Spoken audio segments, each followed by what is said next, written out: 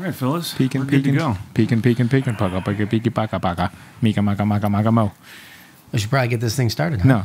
No, Okay. Do you have some kind of Drinks cool first. intro? Cheers. Uh, yeah, but that'll that's that's separate. Searchable reptiles or what? It, It's uh, it goes like yeah, something like this. exactly It's something like this. it, It's like.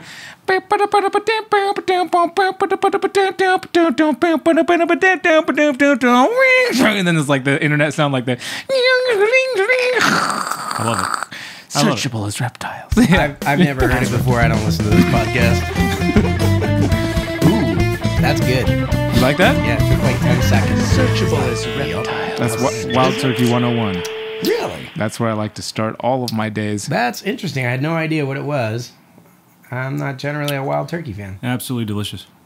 Yeah, it is. good. Wild Turkey 101 is probably the best bang for your buck in whiskey, my personal opinion. Wow. You Yeah. I didn't know what it was. Passed the blind test. Cool. But we didn't. That's not where we're stopping. I mean, uh, Wild Turkey is not what I brought. We have Ah, we got a whiskey sponsor tonight. A lot of times we have a drink sponsor. C&B Reptiles sponsored our whiskey night, so that's why we're not. Pretty cool reptile shop out in the Phoenix Super area. cool they do like shop. captive bred stuff only, so they're really like promoting the advancement of the industry. Yeah, Yeah, it's good. They were they took that suggestion around. We we came like decided on that suggestion like on one of the podcasts. They they location sponsored us at one That's true. point as well. it's all, all happened right here on C the and B Reptiles may be the heaviest sponsor of Searchable as Reptiles. I think podcast. Yeah, Yeah. yeah. Freedom Breeder was up there in the beginning, but you, I don't know, dropped the ball there. I What's up? didn't drop the ball. Yeah, I mean, you didn't beg them enough. Uh, yeah, that's true. I definitely didn't do Just any. blame it on Garrett. Yeah, all yeah, yeah. Garrett. It, it is Garrett's It's fault Garrett's fault. That's actually my purpose within the reptile industry. to take the faults. Yes, I'm the responsible one. Every time something goes wrong. As long as I've known Garrett, he's always told me he's responsible. You know, every chance he gets, he's like, just so you know, I'm responsible. Well, I meant like, you know, if someone goes, why did this go wrong? You could say, Garrett's responsible. It's that kind of responsible, Julian.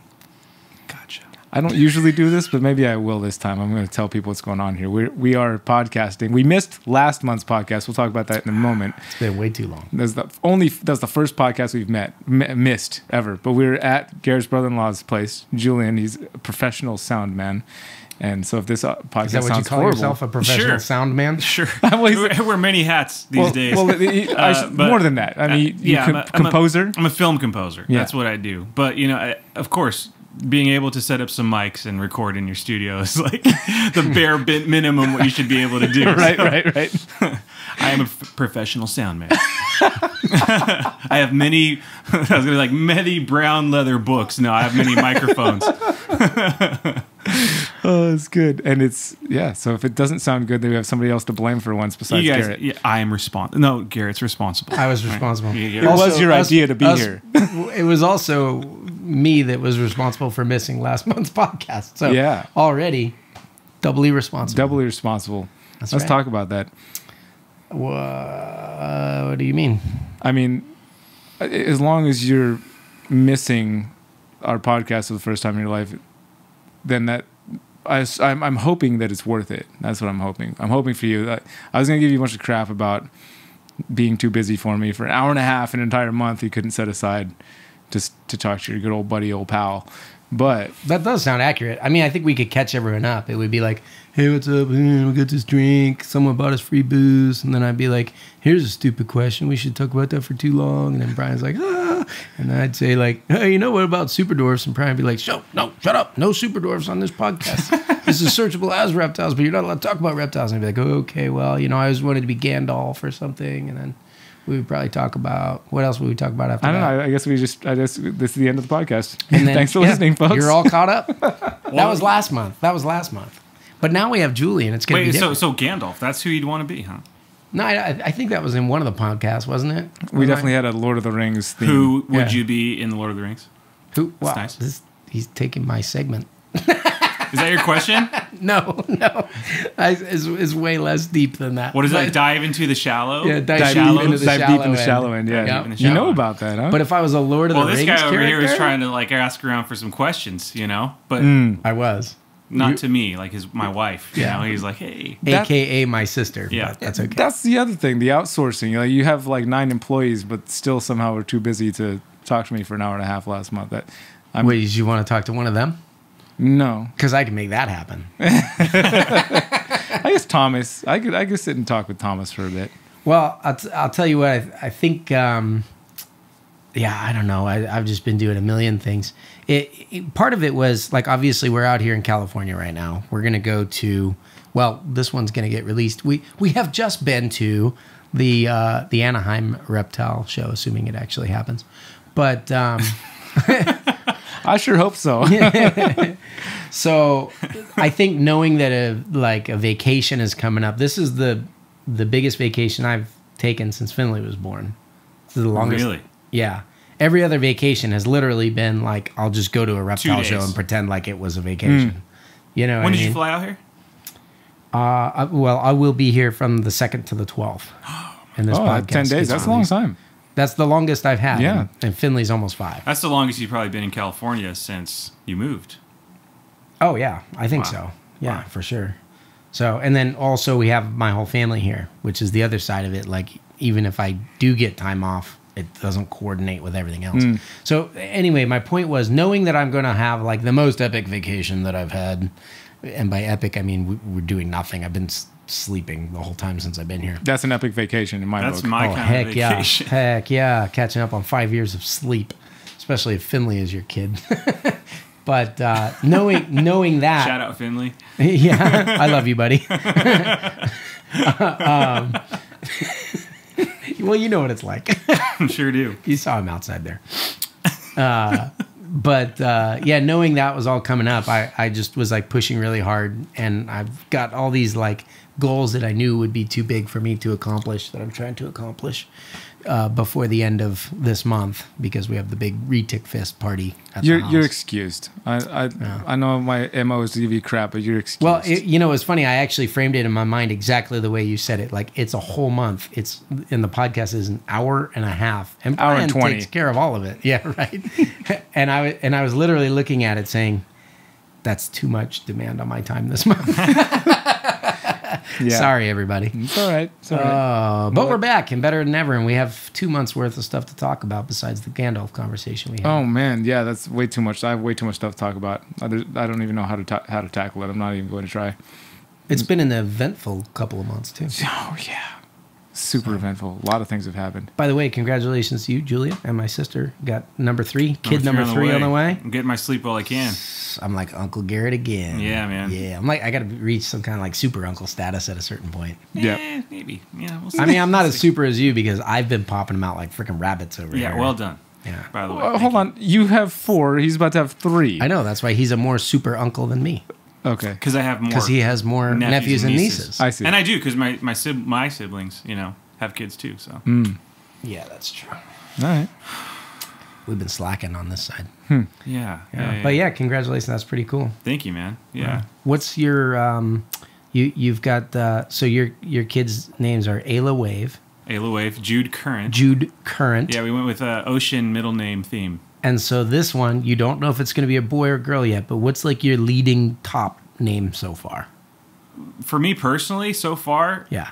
that's so funny to like share this, but like Ziva, Z I V A. I love that name. You got So- some cool names. I think it's kinda cool. He is like you, Brian, with like it has to sound like this and do that. So he was telling me outside, the first name has to be four letters. Just and because the my second first two name kids have four letters. has to do with like ocean. Ocean. So the middle name will be Tides. So that's all we have, like kind of Tides. you Okay. know? So that's that's so Ziva Tides would be their name. All right.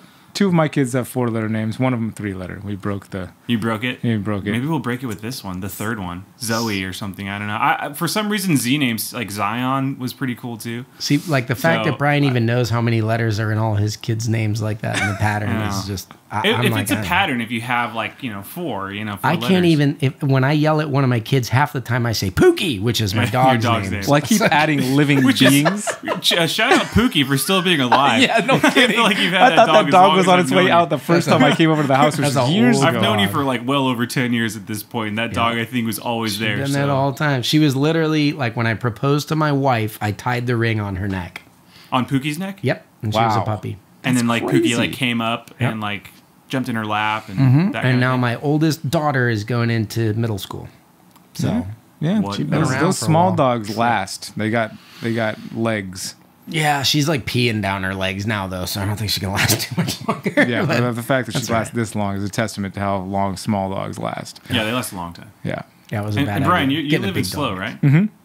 I love Slow. Oh, yeah. You live in Slow, like or Um, like nearby? Atascadero. I totally Tuscadero. thought he was Yeah. saying you're Really cool. living so slow. slow county. You're living slow. Well, that's kind of the cool thing about being up there, though. I feel like life is a little bit like slower, chiller. It's very you know, like I, appropriately- I love that area so much. We have a bunch of friends up there who, uh, one of them, two of them just bought like a property in the middle of nowhere and they're building houses from scratch, nice. you know, in a, in Atascadero. Okay. Yeah. That's, Yeah. Isn't that pretty much exactly what you wanted to do, right? Yeah, yeah. That was the that's idea. not too far off. Yeah, they yeah, just yeah. did that. I don't know if you know uh, Drew Barefoot or uh, um, Ben. Um, gosh, now my head. They- They have a, a film company called Canna, and they have Canna Outdoors, Canna Family. Um, they just have like these little sub brands under the Canna umbrella where they just do like really great filmmaking. Okay, I may have seen. They may have, uh, or my cousins may have hired them for some like videography of their their kids at one point. Maybe. I'm sure. Maybe. I'm Um, sure they they do it all, but they're they're they're killing it up there. And then I did. Uh, I worked with um, a film director named uh, Chris Burkard, and uh, he's up in. I think he's in Atascadero too. And uh, I've he- seen some of his stuff. Yeah, yeah. So we did. We've done a couple films together, but um, yeah, I love that area so much. I need to link in with some of those guys. You should. do some video stuff. I do video stuff all the time. I just take letting it take me to wherever you know. They're right there, man. I mean, Yeah. you have some great filmmakers in Slow area. I mean, it's like all these creative people, kind of like, but it, it almost seems like everyone's got their tiny little island Mm. up there, in on an island. You know, because Slow's almost like an island, right? Like you're not really close to anywhere True. big. Honestly, I So- feel like everybody is feeling like that now after the last couple of years of COVID shutdowns and everything like that, where everybody's super disconnected. Hmm. You- like you may have no clue what the neighbors two houses down. Well, I'm, I, True that. I I know my neighbors for certain. My next door neighbor Jim, I see him often. I I have a new neighbor now, Joe. We've already hung out like five times, even though he moved in like four days ago. That's the way to do it. Um, so there, there is that. I, I've actually, for me personally, I've felt pretty connected with a lot of, a lot of stuff a lot of people and, and things out there. COVID happened earlier for me, maybe in that, you know, like right when it first hit, I was definitely was like, all right, we're not going anywhere, we're not seeing anybody, and then that ended shortly after it started. Right. Um, You're like, this is no way to live life. Yeah, uh, the whiskey bar down the street from us decided that after like a week, they're like, all right, that was good. We're, You know, that, that's We're the open benefit again. of like smaller little towns. Yeah, I think. You definitely. know, like I know every single small town essentially did that. You know, like here in Anaheim. Um, I mean, we're so close to LA. We all know like LA was shut down for a long time. And you can't I even feel buy like we pizzas were- for your kid's birthday party. couldn't here, buy you know? freaking pizzas. not without getting judged in the Uh, parking yeah, lot. it's like I'm trying to buy some pizzas for my kid's first birthday since the pandemic. Getting judged over here. Ooh, all our glasses are empty. Yeah. C&B, where are you at? C and B. So the Wild Turkey 101 is not the was just c&b had was very generous with their whiskey You're gonna open that one? Yes, I'm gonna open this one. Oh man, you got to talk what that is. I That's a pretty special bottle, right I went there. to a very special whiskey shop down here in Southern California called Cypress Craft Beer and Liquors for the first time about a year and a half ago, and was so impressed with the guy, the way these guys run their shop, like the way that they really are just trying to bring really good whiskey to people in California for reasonable prices and not trying to jack them up and have people, you know, paying secondary prices at a at a liquor store, which is what happens a lot of places now. the secondary market is is crazy. crazy. And then a lot of liquor stores will find out, you know, they'll just Google like, what is this? And the Google price is always the secondary price. And it's like, you know, MSRP on a bottle of BTAC is hundred dollars, and yet secondary price is like fourteen hundred dollars. So a lot of liquor stores will adopt. Will follow suit with that. These guys don't do that. They just try and keep things uh, available to their customers. There's this whiskey called Stagg Junior that's been one of my favorite whiskeys for a long time, and I found out a year and a half ago that they were expecting to have their own personal pick where they went, you know, they ha- had samples sent to them and they chose their best Stagg Junior of the samples to get their own So bottle it's like a for their single. store. It's a single barrel Yes. whiskey then. So they're all like, even though it's the same kind, they'll all be slightly different. Right. And so, like spring of 2021, they're like, yeah, August, we're expecting to have this drop, and just you know be paying attention because they the way they do it, they don't they won't sell them online. They'll keep it local, so people mm-hmm. aren't just buying them and flipping them and making money on their good deals they give to their customers. And so August came, then it's September, then it was October, and it's like, oh, COVID is delaying things, and it was December, and now it's 2022, and I was just like, I gave up on this bottle of that they were gonna ever get it, you know, this this barrel that they had talked about the first time I met them But then I went to the store today, trying to get this other bottle. Wait, that was today. That was today. Oh I my went to the store on the way here from my my, He, my text, Cypress. he texted in me Cypress. because we were deciding who was going to buy the stuff. So, Mm-hmm. so Bill Cavender from C&B Reptiles, I texted those guys and I was like, "Hey, we don't have a drink sponsor. I know you guys love doing that kind of stuff." And he's like, "Heck yeah! What do you want?" And and uh, he's like, "What what does the finest bottle of whiskey cost?" And I was like, "We're not a finest bottle of whiskey kind of podcast." I said, "Anywhere from fifty bucks to two hundred bucks will do." And he and immediately, boom, two hundred bucks. You Yep. know what I mean? He's like, "Only the best." You know what I mean? So. So this. But so he I walked in texted there. me the the shop like that's where you should go. And Yeah. I was like, it sounds like you want to do the shopping, so Yeah. I'm just gonna You PayPal it to it, you, buddy. Brian. and it was Yeah. perfect because it was literally on the way here from where I was awesome. swimming with my kids. So I stop in and I've, I've got this bottle at the counter. I was like, oh, this one this is good. And then I'm standing there and I'm talking to the guy about how much I love their shop, as I do every time I'm there. Say, if I ever lived in Southern California, this would be the reason. Is your guys' shop right here? And he's like, oh yeah, yeah, yeah. Because he, I mean, Hillary's parents are also awesome, but other than that, yeah, yeah, yeah. Well, but but the booze, Uh, like the grandparents to my children. yeah, Hillary's Nah, parents close nah, second. That's a total. they come up and up. to a liquor store miles away from where they live. it's okay. We know they don't listen to this podcast. You're safe, bro. Steve was just up visiting us last week, so we get to see them. We get to see them often. Priorities. We're hoping they'll move up. We're hoping they'll move up. Um, but yeah, so I'm standing there. He's like, "Oh, we got we got our Stagg Junior pick in. Do you want that?" He's like, had it behind the counter. We haven't posted online yet. It was just here in, in the shop, and I, I like hit the ground literally, like with my hands slapping the ground like a gorilla, just like all these customers said. Because I've been waiting for this bottle. For like, I gave up on it after a year and a half. I was like, it's just not gonna happen. And then literally today, I'm standing there, and and he says, "Oh, we got our Stagg pick," and I had this feeling when I was going there that there was going to be something special. I didn't know what it was going to be, but I knew it was going to be that special. Yeah, that's quite special. Also, we're gonna need proof of you slapping the, the floor. I'm sure they have we, need security to, we need to cameras. get security cameras. Guaranteed For they that. have oh, yeah. security I I'm would gonna cameras. drop love- that I would video love to right see that. here if you're watching on YouTube. There's the security code footage. Brian, Brian did that. I put him up to it. Seriously, seriously. That's pretty funny. I think he thought it was cool that I was excited about it for a half a second, and then he was like, "Whoa, whoa, whoa!" So, so this is made by the same guys that do Eagle Rare, right? Which is yes, my favorite. yes. Yeah. Oh my gosh. Wow. So I've never had this. I've never had the Stagg Junior. I've just had to hear Brian talk about it for the last year. You have had Stagg Junior. No. Oh, you you Not did. You it, you brought a um A little sample a little one to one Arizona. Yeah, What a beautiful Okay. bottle. I need to take a picture of this. I lied. I lied. And that's just their sticker on the back. Julian's such a social media guy. stag Taking pictures. Like, look at you. You look like a foodie. I'm such a foodie, guys. hey, cheers. Cheers. This is, uh, Cheers. amazing. Thank you. You know, the last time I did something like this with you, Julian, was um, do you remember at your last house when you guys had the rattlesnake on your porch? sure do.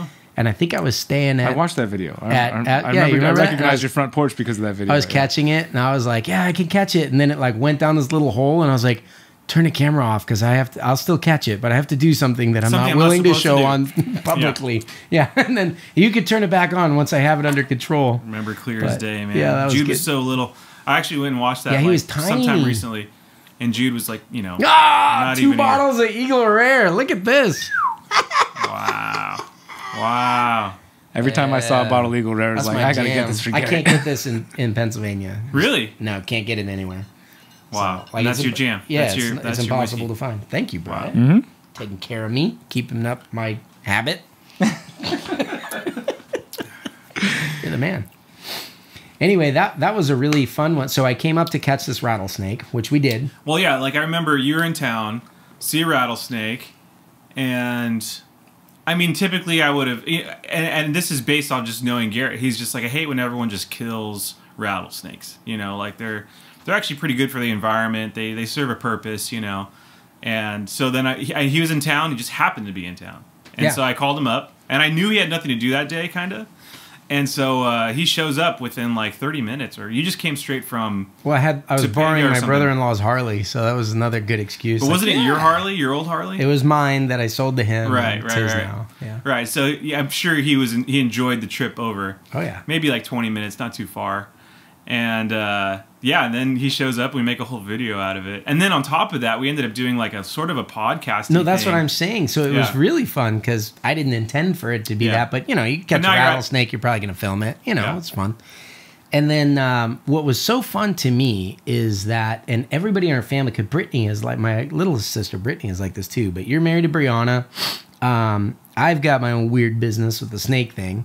Brianna is huge in the hair community now, and then you're composing for videos and stuff. And I feel Not like Geo, no big deal. yeah, yeah, MBD. But um, yeah, well, and Brianna just got back from. Wasn't she like the lead hair designer for New York Fashion Week? Yeah, for one of the shows for uh, Cohen, uh, Jonathan Cohen, like I think. so she's not like, oh yeah, she just does hair. Like you know, she, And Bree's like one of the most like well-known hairstylists in the world.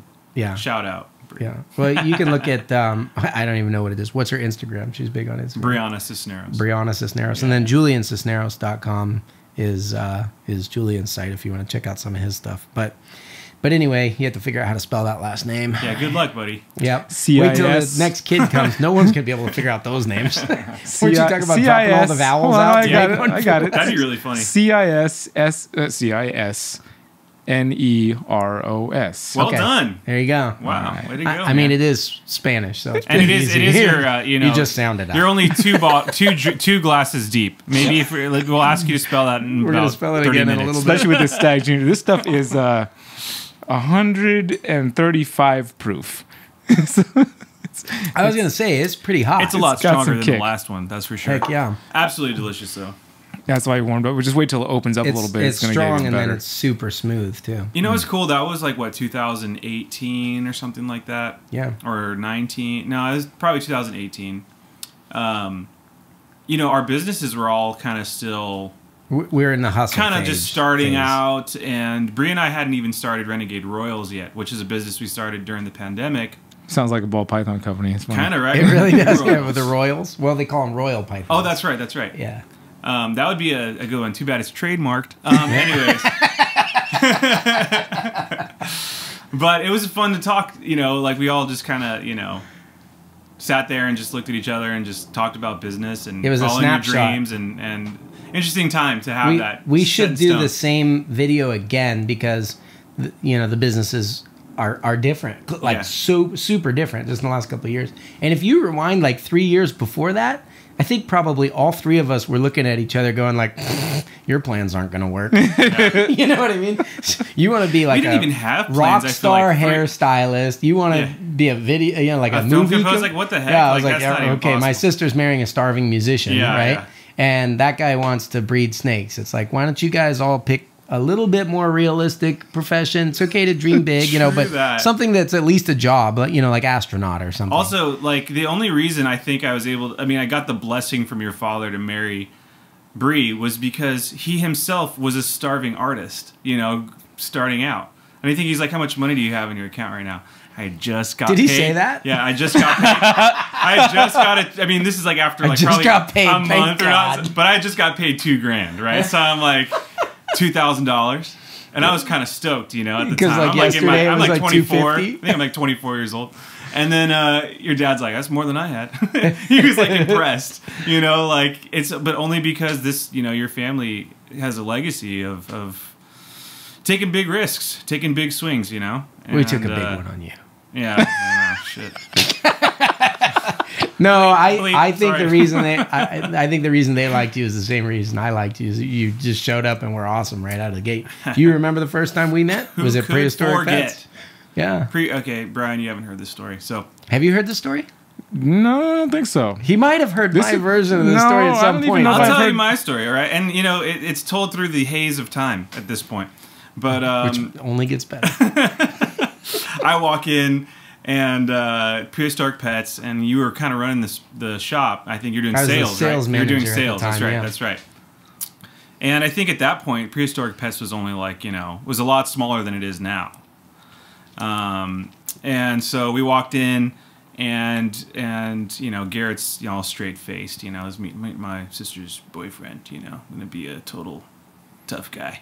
And I, uh, you know, first thing he says to me, not even like how you doing, like nice to meet you. She's like, This is shakes my tainted hand, by time. shakes my hand, His first phrase to me, "You want to get bit by a snake?" That's all he says, straight face to me, and I'm like, you know, typically like, "Hey, how, how you doing?" I'm, you know, eh, met with that question, and I'm just like, "Yeah, yeah." Well, I, course, of I knew that within, I said- I said within yeah. about 30 he, seconds he has he's told gonna, me this story. Now, now you're just I confirming that I have heard Yeah, all so, of you know, Garrett's he- stories he- already. I, I figured that I had up into a about 30 corner. seconds, 30 seconds before he realized what a jagoff I was, where he was going to actually try to impress me. So I was like, let's let's, Let's take advantage it. of this. Well, luckily. I, I actually had a California king growing up, so I was, had been familiar with snakes. snake you know? savvy. All right. Uh, a little bit, you know. Um, and so we go to the back, and I had never been to anywhere like that, to where like you just have all these rows of all these plastic bins, you know, and. Uh, he goes to this like the little ones at the top and he pulls it out he grabs like a full-on handful of snakes just like indiana jones you know like ah these are too small puts it back then he goes like one shelf below, like the bins are a little bigger. Ah, still too small. and he keeps going, just down the line, just like slowly, like agonizing. And I'm just sitting there being like, oh my god. Finally, he ends up on these. I don't know. Had to have been around like four feet or like something a like that. CB70 size snake, if you can imagine that. Yeah, Work your way up from the hatchling rack. And he, he pulls it out. He's like, "Oh, this one looks mad." As he's as he's actually opening it, it snaps at him, right? And he's like, "Oh, this is the one." And this, is a, this is a reticulated python, so you know that hunger strike. Yeah, and he's uh, so he's like, just put your hand right in front of it, you know, and um, it'll do the rest. And I'm like, all right. So I put my hand right in front right away. It does nothing, absolutely nothing. He's like, no, no, no you got to kind of like, kind of, kind of tap it a little bit. Just, Act just- like a mouse. Just tap it. Just in. wiggle your fingers. Give Tap, it a, li- tap, give it a little taparoo. tappy. Tap, tap, taparoo. And uh, so I do that. like his and then version of the sure, story. Sure enough, you know, big old snap, you know, it bites me. And you know, obviously, because their teeth are so sharp, you know, like blood just instantly drains. And, And is the it- anticoagulant. they're anticoagulant, so it's just like really going down my arm. And you know, he's looking at me. He's not really like laughing or anything. He's just like, "Cool, all right." Puts it back in. Like he's not like being like, "Oh, got you." You, you know, no, whatever. Like he just is like, "Cool, sweet, all right." Unimpressed, right? And I, so I'm sitting there bleeding, just being like, "What the hell is happening right now?" And Brie is like so mad at him. She's just like, "Garrett, Oh, you're she was such a she idiot." was so embarrassed. So you're so, so dumb. embarrassed. But at the same time, I'm like, whatever. This isn't even. A, this is actually kind of fun. Like this is cool. I think you guys thought I hated you out of the gate too, because we went, went to a restaurant after that or something. You're like, I know that you probably hate me. And to to Julian's credit, uh, and a detail that you didn't mention, like I knew he was going to get bit by a snake. That's not nice or whatever. But I did tell you, like, you know, don't pull back or anything that makes it worse. You just have to kind of sit there and take it. Yeah. And he did got bit by, you know, probably I don't know, five six foot retic or something, and didn't just kind of, mm, you know, didn't move. Which is, I mean, that's intense if you're not like, say you had a Cal King or whatever. But Yeah, yeah, it was not as big. That's for sure. I- I'm just Especially saying- because I, I probably didn't feed it as much as I should have. my employees at the shop would have flinched more than you did. So I'm, you know, Yeah. and they work with them for a living. So I That's was, the I time was I, pretty met my first sister's boyfriend. I, it was not as cool of a story, but I just kind of Well, pulled you up can and make it up. That's what we do. Yeah, well, Yeah. yeah. He, well, he pulled up, he pulled up, pulled down the street, and this this Mustang dropped her off at the house, and I was with my buddies across the street. You know, it's a pretty rough crowd. He, he pulls up, and I, I just kind of walk across and lean in his door, and just like he, take- he didn't see me until until I was like in his car. He didn't even see me yet. He was like looking at her getting out of the car, and I was like. You taking good care of my sister? And he looks over and he's just like, like shaking, shaking like look. I was like, oh geez, like don't pee your pants. Like I was like, oh man, my sister's probably taking care of you, and it was true. She wore the pants in the relationship, so I was like, That's true. She's- yeah. Are Much- they together still? No. No. No, that was a long time ago. That was a long time ago. Not a guy like that. He peed his pants when he met the brother. Yeah, yeah, yeah. Yeah, chase those ones away. That's right. That's right. Yeah, yeah. Definitely That's so funny. chased a couple away. But Yeah, so how much of a jerk did you think I was after I that I didn't really think you're a jerk. just a weird. I just didn't think that. I mean, you you're a pretty straight face, so you know, and you kind of understand. You know, you just gotta you gotta win people over, and and uh, to uh, at least my understanding is it just takes time, right? And I just knew I was a good guy, and I knew that over time you guys would figure that out, and so I didn't. I wasn't like stressed out about it, you know. I, I, wasn't like trying to get you to like me instantly. you know? And you were talking about my dad. Like my dad is the easiest guy to get to. Like you know, you just pick up a rake and do some chores, and then That's he's all like, you have. Like that you." is basically it. You just got to do manual labor for his dad, and, Yeah. and uh, Yeah, I kind of turned into that uh, now in retrospect. Yeah, I, We I think I, we- I think I get along with your dad. I didn't know who was going to be here when I when I came over. I thought maybe like your whole family was going to be getting together and stuff, and thought maybe uh, I'd actually get to Oh, meet that your would have dad been today. pretty fun. Yeah. Actually, his dad would have been fun on a podcast. You should Well, drive I don't there think one we day. we haven't done that. No, We've I've met seen him him- before. I have not met your dad. You haven't. I have not met your dad. Oh, I don't have any like weird notions where I think I've met your dad when I really Well, haven't. Well, I filmed a lot of him on our YouTube. I know I, channel, so I've seen can- those, but, it, you but don't it feel like you met my doesn't dad. create like me the same like problem that it creates for you, where I feel like I've actually physically met. if you can dig with Gary, his dad, um, you will like uncover like the most incredible stories. But you have to dig past the horse stories, Yeah, and then and then if you can it's dig all horses for the if- first if, three if hours. If you can figure out how to get maneuver throughout through the horse stories, um, not horror, Horse stories. horse. You can get through the horse stories, then Horse. you get to the horror Benedict stories. Cumberbatch. Um, yeah, uh, the horse stories. Um, you will find a, a treasure trove of like you know, basically all our childhoods. I mean, this guy uh, animated, directed. Geez, all the cartoons we all used to watch growing up. you Yeah, and uh, so, and yeah, there's lots of stories. Anyways, Yeah. back to uh, back to reptiles. yeah, let's get back on topic, guys. Yeah, If who's our sponsor? stay- Our, uh, shout out our sponsors. C&B Reptiles. C&B Reptiles. Thank Captive you. bred only. Yeah, Captain Bread only. That still still C&B. So this is prob- C&B Reptiles, capped inbred only. capped and Cap- bread. That's uh, only a misdemeanor in Phoenix, as long as they're capped first. Oh my goodness, Oh, that took a weird turn. dude. it's getting dark. Leave it to these two guys. So So I have th- that might be a good segue to the dive deep in the shallow end. All what do you think? I mean, Yeah. sure. Well, I don't know. I have no idea what you're gonna ask. So Okay. Well, here it it is. could be a great segue. Are you guys ready? Yeah. Well, yeah, maybe it's a good segue, maybe it's not. Um, but uh, your wife, my sister Julian, really wanted to know this question. Asked us to do a little bit of soul searching. If you were a breakfast cereal, Okay, I'm glad you didn't say of the. So I was gonna be like, we did this already, didn't we?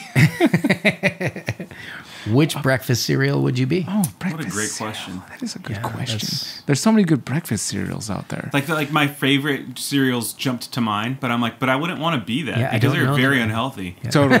yeah. I, I don't know that I would want to be one of those, but I probably am. I mean, the first one that jumped to my head was Captain Crunch. and I'm definitely not Captain Yeah. Crunch, but that's I the do- first For one me, that it's cinnamon my do head. toast crunch, Captain and it's That's like, my nah, favorite uh, cereal I mean, like of I- all time. I- yeah, same. I mean that that milk afterwards. you yeah, kidding me? I still, I oh still God. get cinnamon toast. Like to this day, if we're in Costco and my wife lo- allows me to wander down the wrong aisle, Yeah. we'll have cinnamon toast. yeah, and it's not Have just you? one box; it's a double box. You're Have right. you seen that they sell milk tainted by cinnamon Yes, toast I crunch? do. Like Do you mean blessed by? yeah? thank you, It's thank like you. cinnamon toast crunch milk. They sell it.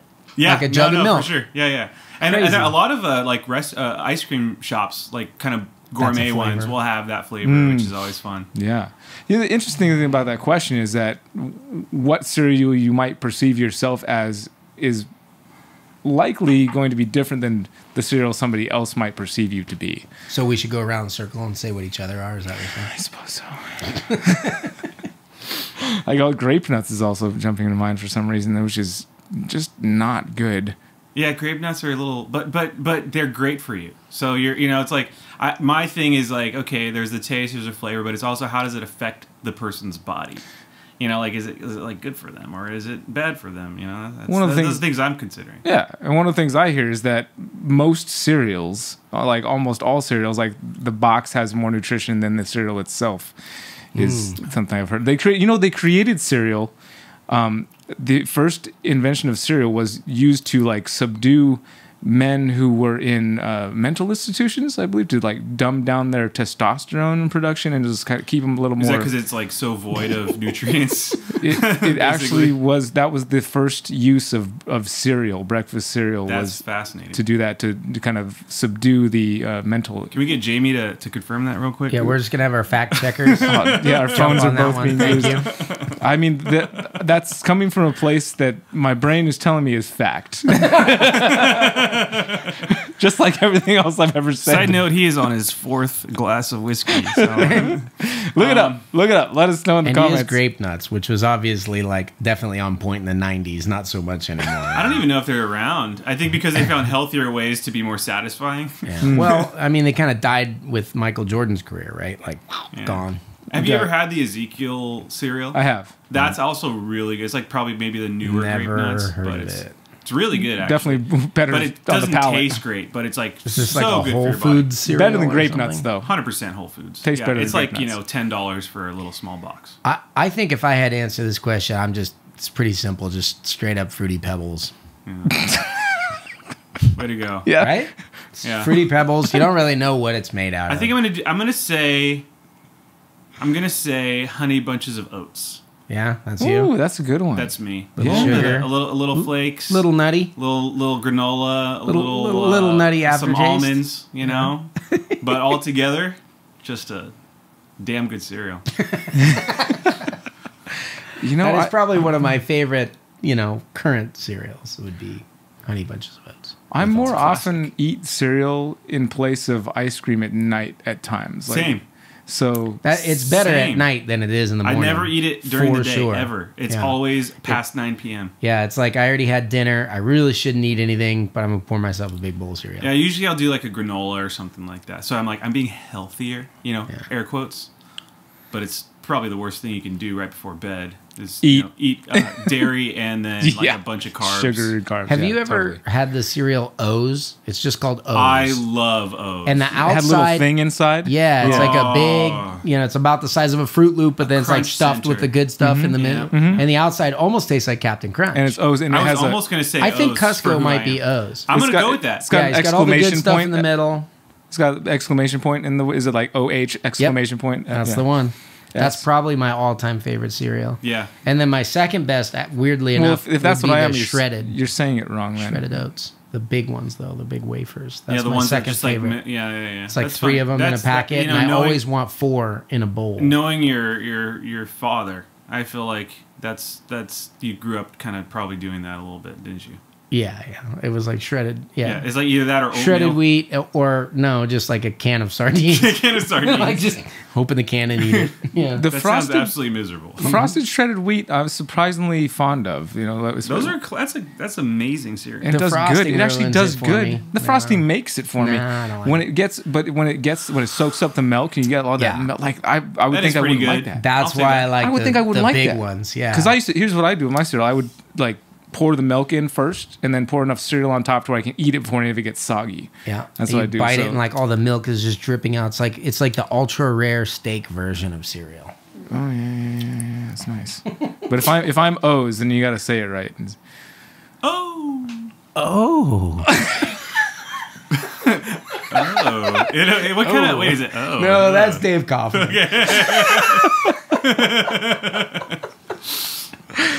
you know now. Oh. I feel like I'm.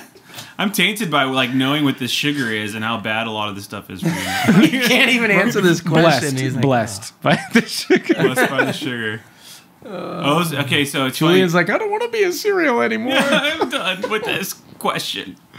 I feel like there needs to be another question. These are fun questions. they are right. If you were a plant, what plant would you be? I almost wanted to change the name of the podcast to "Diving Deep in the Shallow End" just because the question. yeah, it kind of fits the whole thing. Well, Well, really, considering you don't like talk about reptiles the entire the entire time, that might be a, a good way to we had this original plan.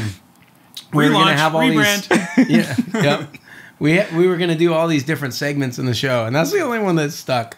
That was it. Yeah, we had a whole list of like ten or twelve Yeah. different segments, Yep. and It's also kind of interesting if you're like someone listening to like you know hear a couple guys answer a pretty like ponderous question that you yourself would be like, what cereal would I be? Well, we actually have a, a Facebook page for Searchable as Reptiles, which is really fun because a lot of people will go on there and they'll, you know, make a post posing the question, and we'll listen to all Oh, of our readers. cool. Like, what breakfast cereal are you? That's if cool. you're dying to tell us, you can jump on the Facebook page and check it out. and I'll jump on Facebook for the first time in four months.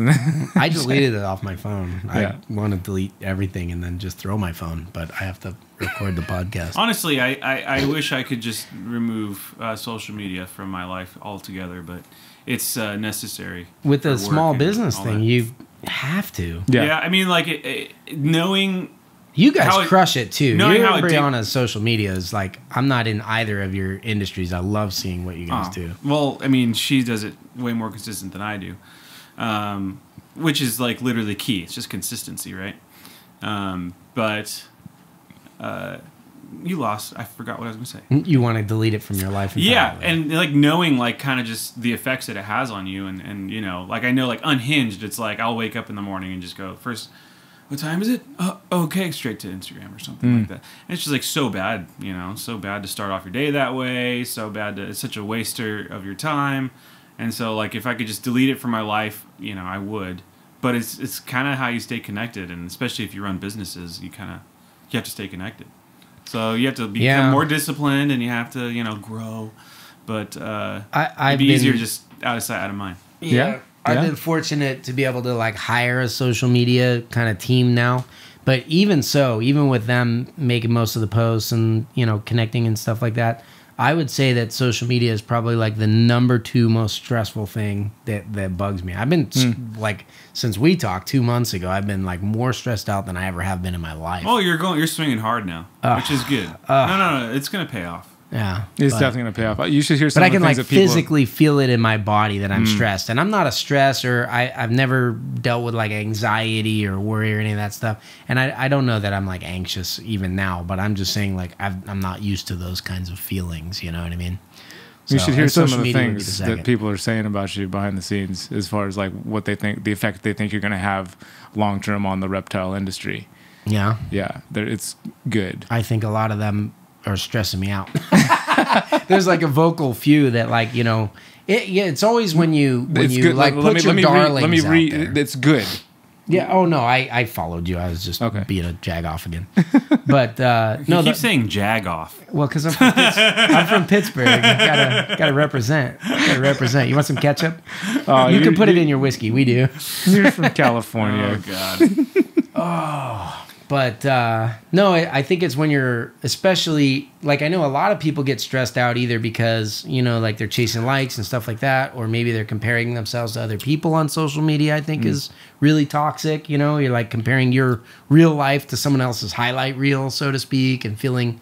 But none of none of it is that for me. For me, it's when I try really hard, or I'll be super just honest, brutally honest, and vulnerable and put that on social media and then people like tear it apart then i'm just like you know what i mean and it's Hmm. really hard for me to i never really cared too much i mean you know this about me julian i, I don't care really what people think about me you know Not at what I mean? all. No. but um but it is hard to not allow them to tempt you to either either to react when you don't want to react or to guide or shape the way you do things Right. you know what I'm saying? Like you're like we we re- referenced it, but you were saying you bought a bunch of pizzas for your daughter's birthday, and then someone was judging you because it was clearly more pizza than you would eat, and they're like, "How could you not, you know, so be social distancing right now, right?"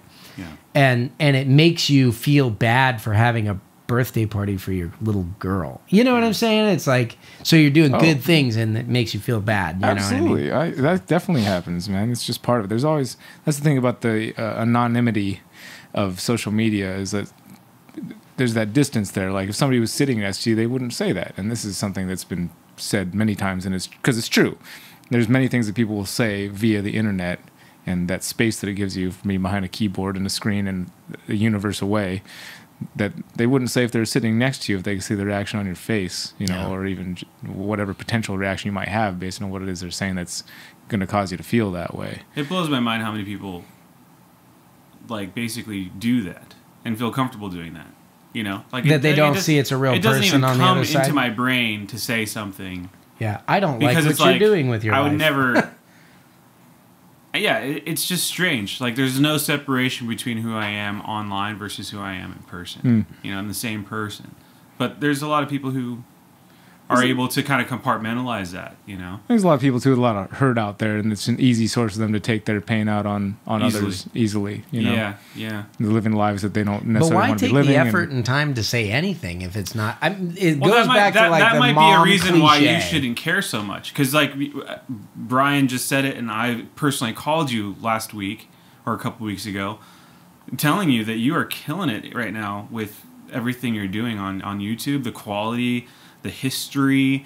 I mean, like there's full on slides of like planet Earth and the the Earth is circum, you know, and then also we zoom in on like Madagascar where this, co- you know, or whatever, and that's verging on you know studio network quality production. Well, that's Thomas. Thomas is Brian knows this. Thomas is the freaking. But that's actually what I think is going to get you into this next level. Yeah. And you're just in like sort of this like you're working hard right now, and you probably aren't seeing all the the broader macro kind of things that you're you're doing. And there's the few people that are like coming at you and being like, eh, "This is lame" or whatever, or whatever the voices in your head that you're hearing.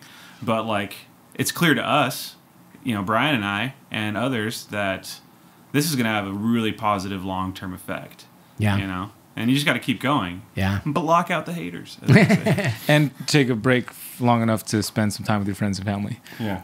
Well, that's probably it too. If I've been two months of just like freaking grinding, it's been crazy. But yeah, yeah, you know, we got to touch base with reality. I'll tell you what. I one thing I envy about the way that your business, Julian, is is.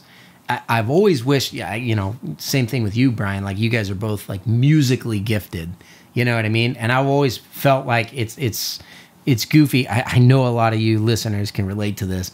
You like you're the person who like sings at the top of your lungs really poorly along with a song in your car or something like that because you're just like, yeah, this is awesome. I want to express myself like this, but I'm terrible at it. You know what I mean? So, but your thing specifically, Julian, you can, um, you know, I mean, let's say that you're writing the you're, you're composing the score for uh you know the next planet earth or whatever you know what i'm saying i know that's bbc that's not nat geo because you do like shannon wild and all that stuff right Sure. Yeah. so you're doing the Work next together. shannon wild I, I wish. I don't. I don't know if I am, but you know, we'll see. oh okay well um, Shout out Shannon and Russ. Come on. Just Heck kidding. yeah, man. Um, but uh, you are you're composing this music and you are being vulnerable. You got to tap in with that creative and vulnerable part of your soul. Truly. I mean, you're basically you're trying to bring out people's feelings. Right.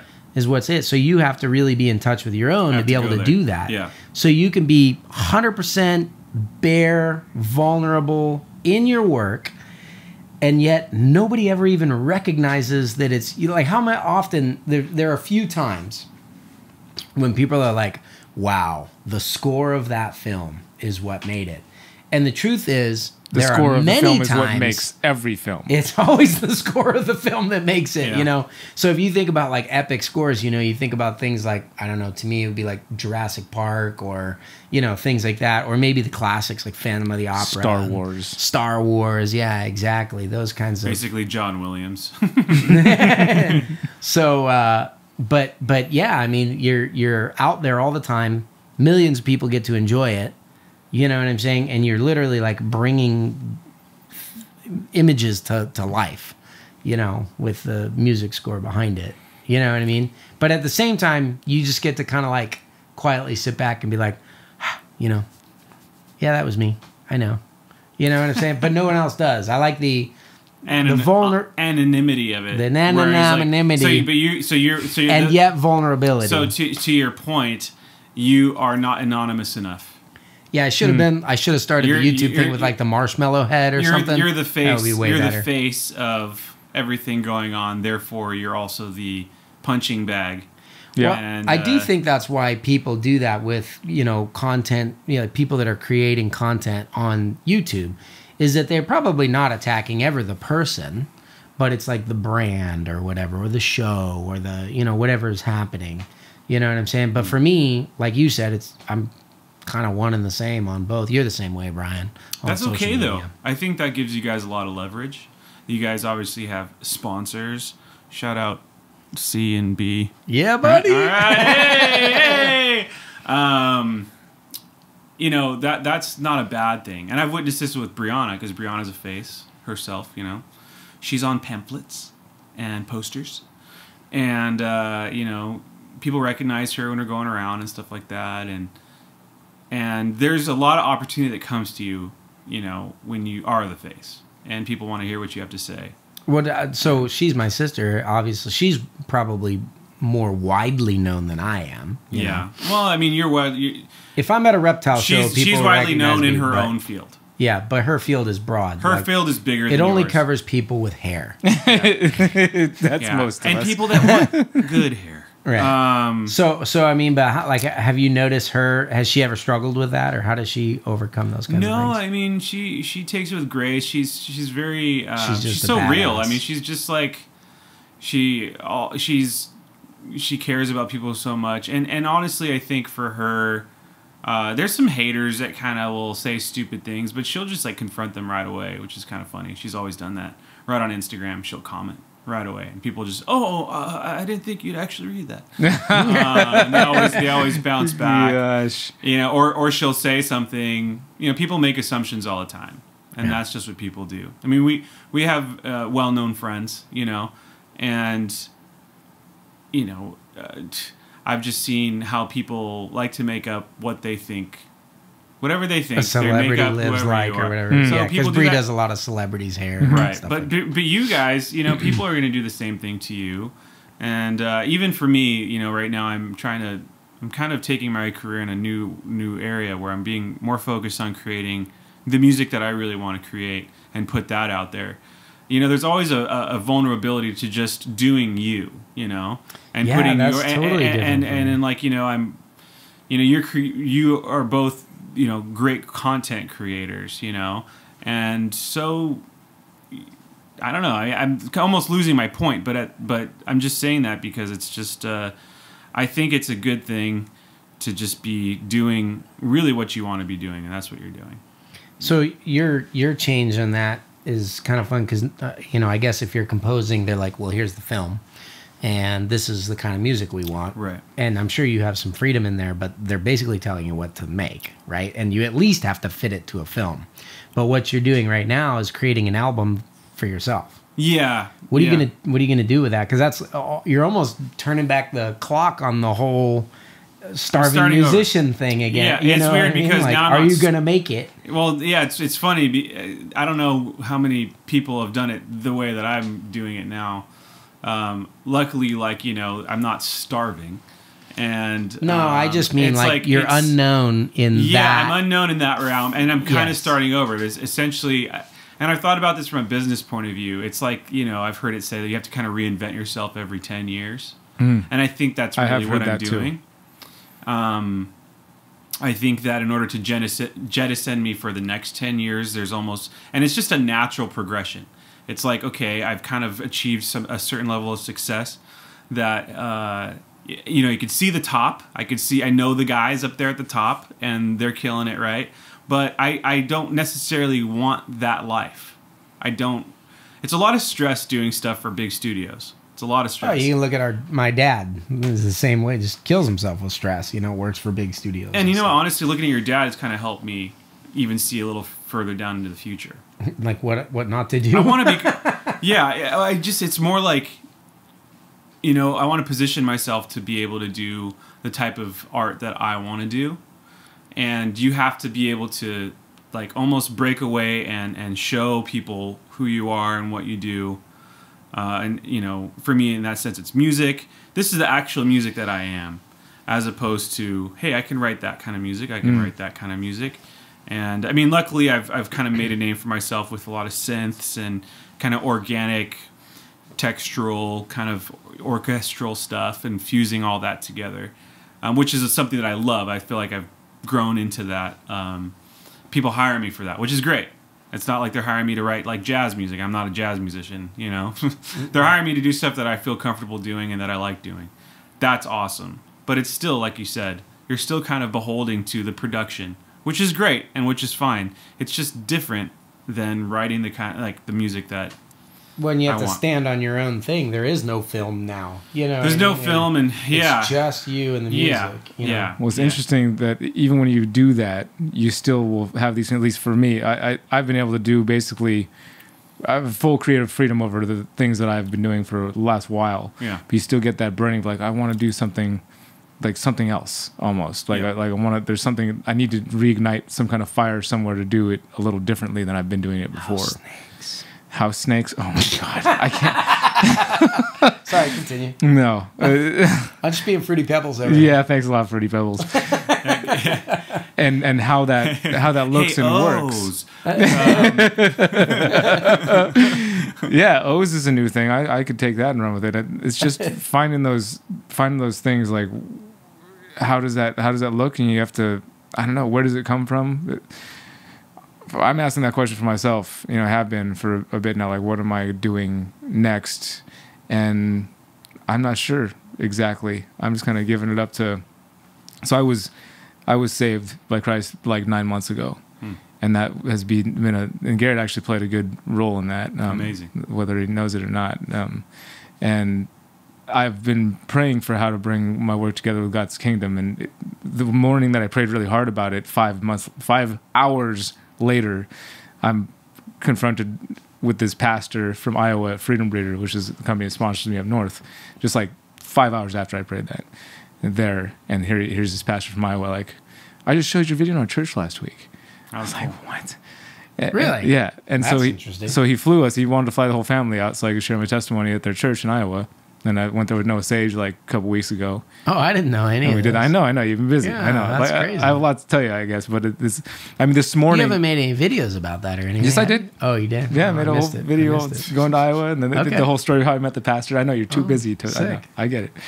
Um, but I mean, this morning, and it's just been leading in so many different ways. This morning, I was offered a part-time position as a youth pastor at a church.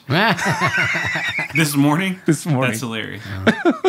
Aw, that's pretty amazing. and I don't. I mean, I'm just. ro- I'm just going with it. You know, I'm just going with. what I told God. I pray to God that I, I just wanted Him to use me in whatever way He sees fit, and that I would just go go with that. And hmm. I put all that. I put all this stuff out on YouTube. You know, some, whatever's happening in here generally goes in through here and through the screen, and then it goes out onto YouTube, and mm-hmm. I get feedback, and some of it's good, some of it's bad, and it just is what it is. But the youth pastor thing, you can definitely make a, a huge impact in people's lives. I mean, I don't know about you. You grew up in the church and stuff. You remember any of your youth pastors?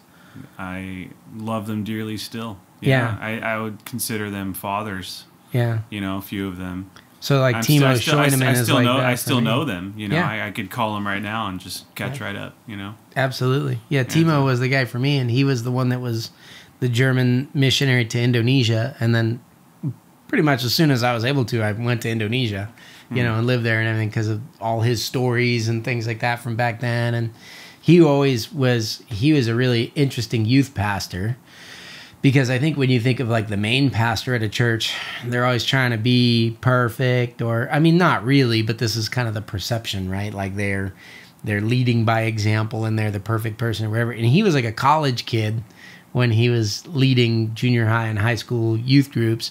And he would be like messing up in his relationships with girls and then come and talk to us about it on Sunday. And you know what I mean? Or like drinking Saturday night and kind of hung over and be like, oh man, guys, I really messed up and all this stuff. And I will tell you, just never get into this because it's the temptation is too strong and all this stuff. And a lot of the things that he told me really made a huge, huge impact in my life to this day, you know? So. it was, it was cool to have Noah. So they wanted to fly the whole family out, but Hillary was like, "There's no way they're paying for all of us to come out there. That's ridiculous." So, Yeah. But Noah came with me at least, so he got to That's cool. hear the testimony, which was pretty cool for me because I mean, I, I had pretty pretty rough cup forty years before. How old's your? Uh, you said you're, you have a Nine. Nine. Yeah. Okay. Yes, I would. Thank you.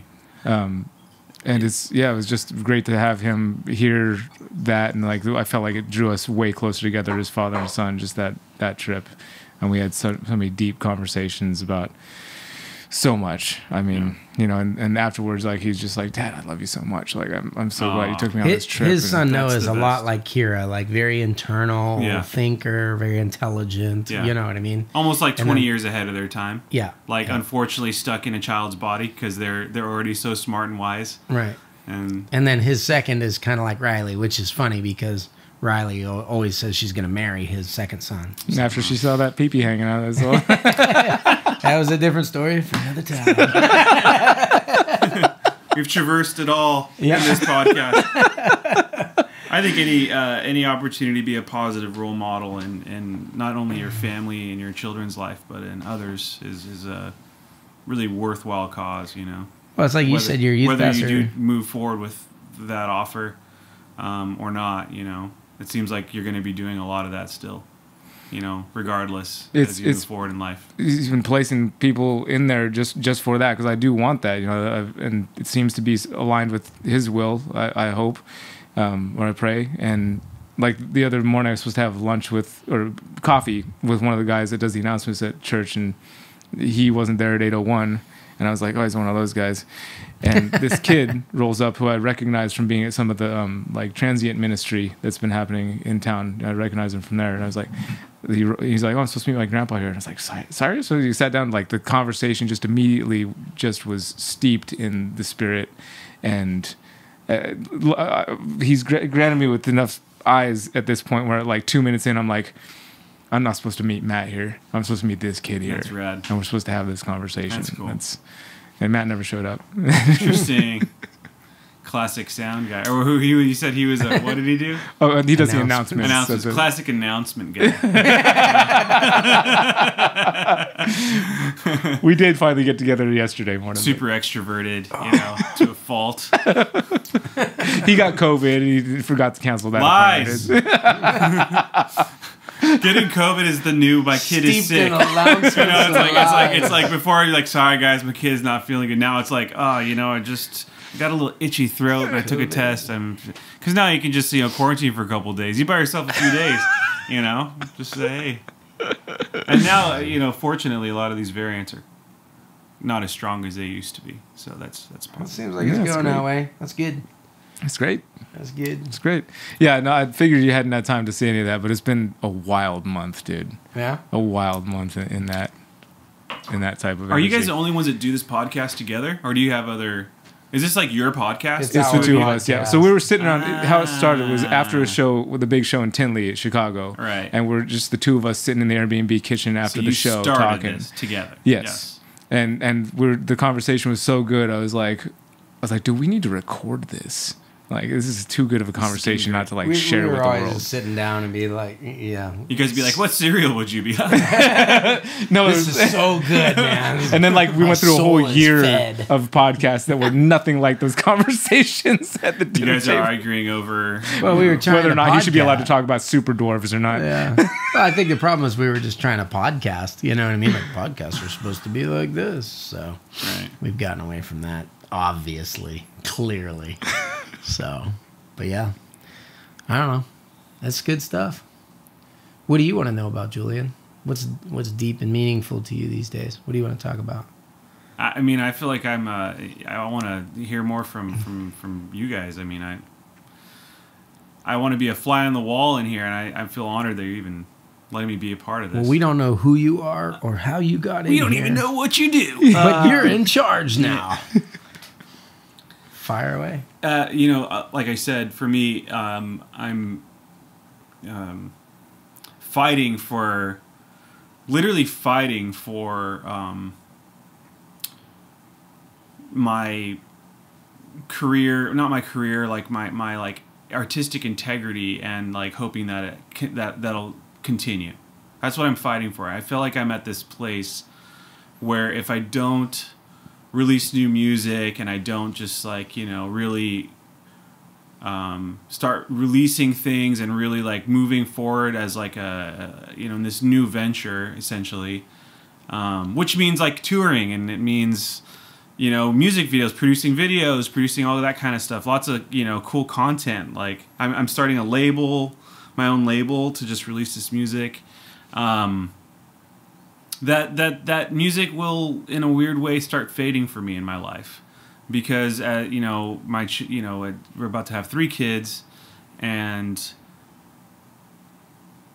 it's you know I've, I've learned uh, grace gratefully um, how to you know make money and and you know we have we're starting multiple businesses at this point and and it's like you know we can start living a little bit of a, that life where you, you you know maybe you're not working so hard to try to make some money it's like money's coming in and so it's like I could I could see how I can just fall into like well I'll just keep you know making money and, and doing the business thing you know and, and live the rest of my life like you know uh, going on vacations and hanging out with my kids and all that stuff which is great but I know I'm meant for more I know it. I haven't made it this far in music to just stop.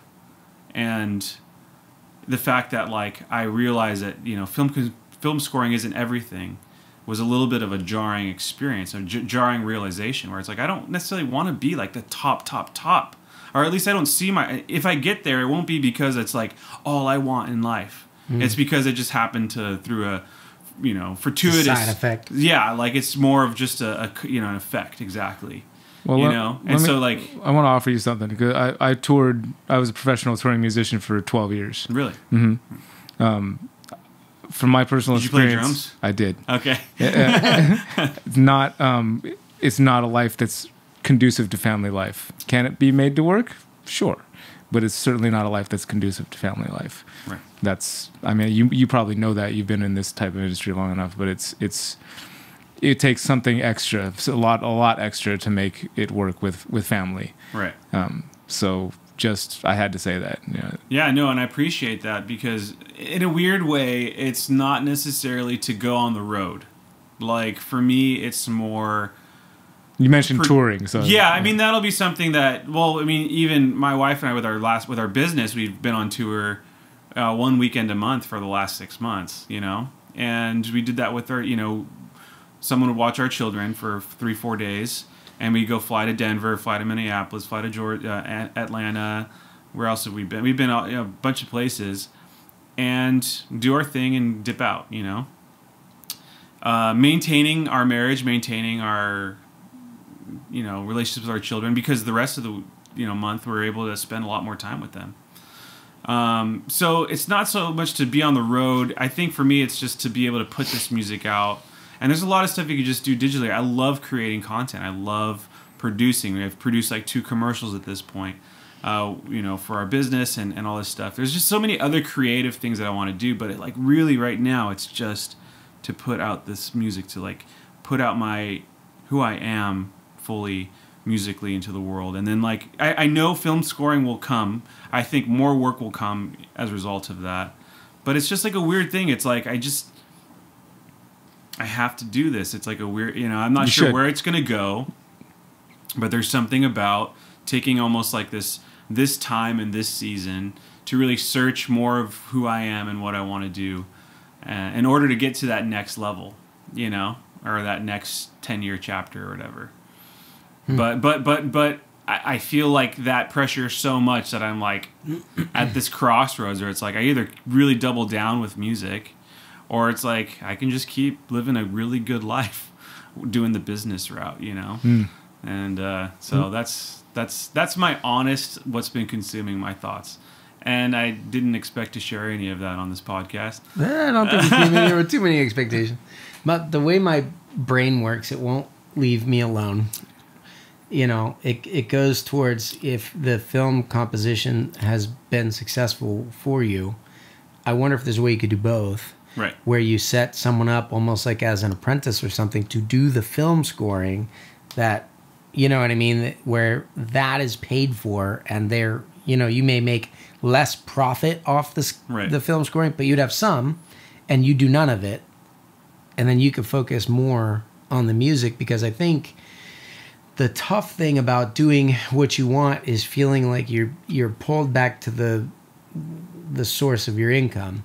So for me, this point happened with the animals, with like with Reach Out Reptiles and stuff. Like we started in 2015, but I had another job for two years. Right. And I think that's really common in the reptile industry. People have their reptile business, side hustle but it is the side hustle. Mm-hmm. And then they have their quote unquote real job.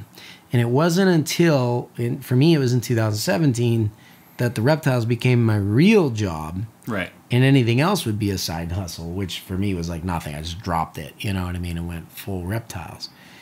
But that was when the the big transition happened. You know what I mean? Where you know, and it would have been nice to have like I think you have the opportunity to do it a little differently than I did, where you can maintain you've learned so much about the film industry and composing and all that kind of stuff.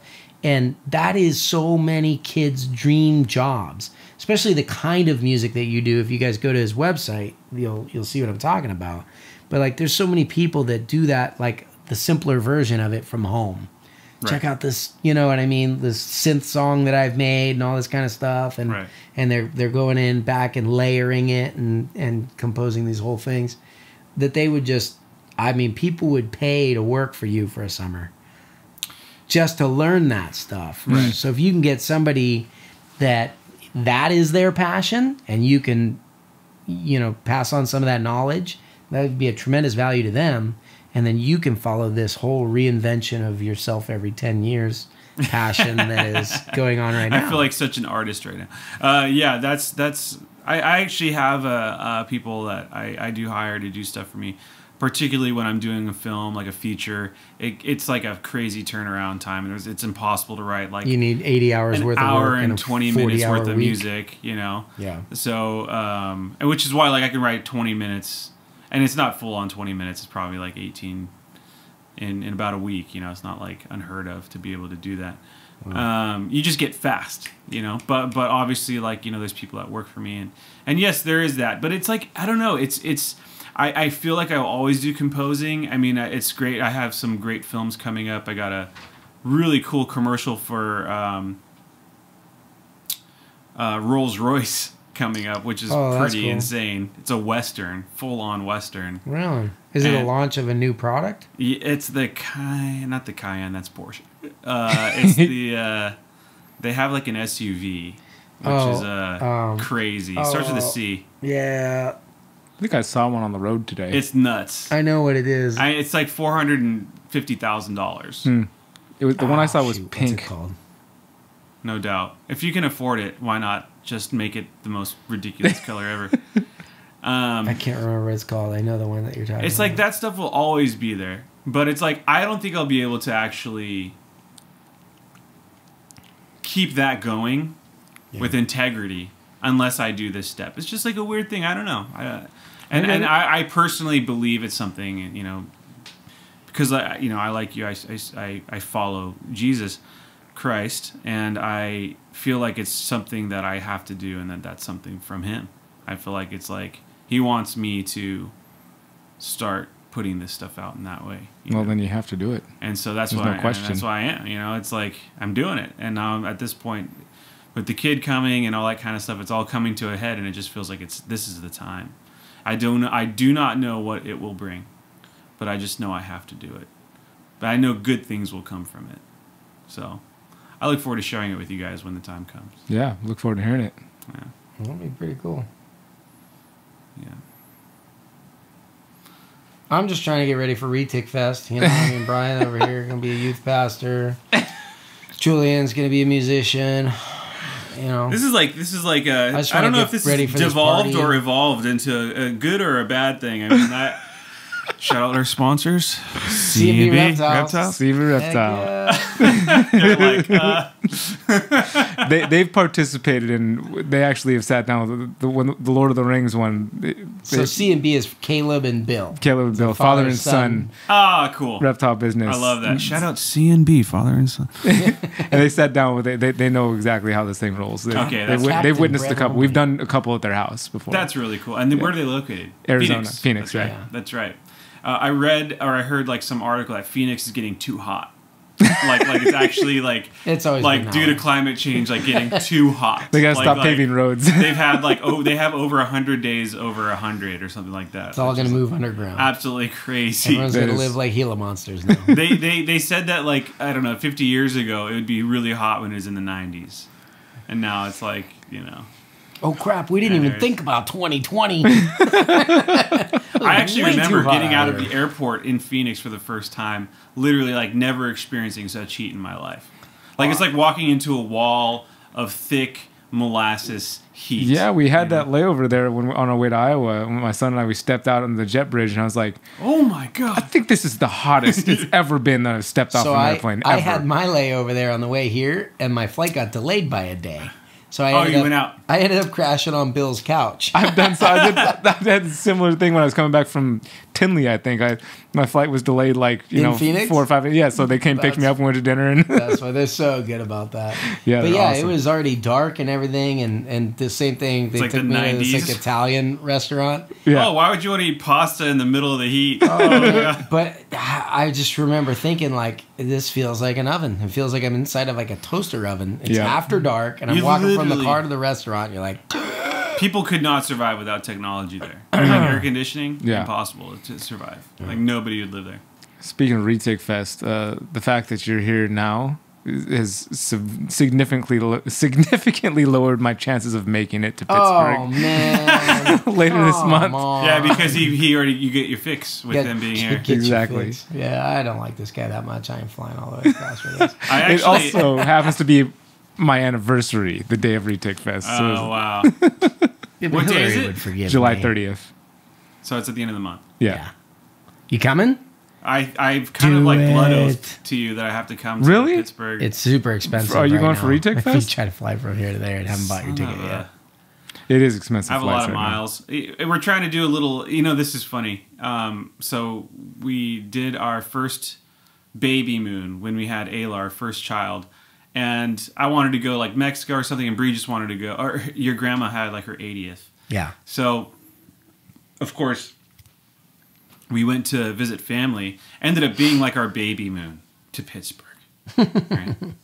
Not that it wasn't great to see the family and, and, and to be there, but like I, I'm like, we have one little trip where we're going to take the whole family somewhere, and I'm like, let's go to Cabo, you know? And somehow I feel like we're going to be in Pittsburgh. Do it. Pittsburgh. We'll go to Nemacolin or something like that again. I'll teach you how to catch snapping turtles. if I with can your just go golfing the whole time every day, I, I feel like it'll be fine. Uncle Jim will be right out there waiting for you. Uh, shout out Jim Hartle. Yep. Yep. Brian, how many children do you have? Three, How old are they? Nine? six, and four. Great. And there may or may not be another one coming out. I'm not sure yet. I have to check. He looks at his watch. this is really new. I thought he was looking at his watch for a text from his wife, like thumbs up, thumbs down. This is- like he's just waiting for this that. is where we end the podcast so Brian can go make a fourth Yeah. baby. He's like, did you just get a pregnant emoji text or what? Like, The time is now. The moon is out. so that's gonna be four kids. Unless it's twins.